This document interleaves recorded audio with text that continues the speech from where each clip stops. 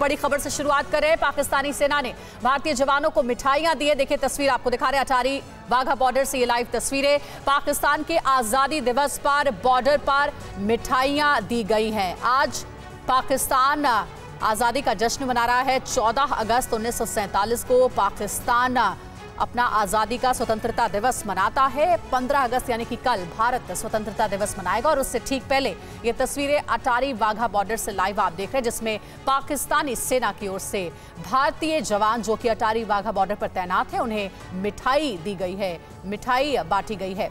पाकिस्तान के आज़ादी दिवस पर, बॉर्डर पर मिठाइयाँ पाकिस्तानी सेना की ओर से, भारतीय सेना को दी जा रही है।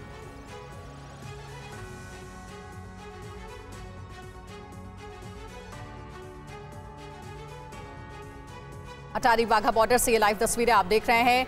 एक और जहाँ पाकिस्तान आज, यानी कि 14 अगस्त को अपनी आज़ादी का जश्न मनाता है तो दूसरी ओर कल, यानी कि 15 अगस्त को भारत अपना स्वतंत्रता दिवस मनाएगा।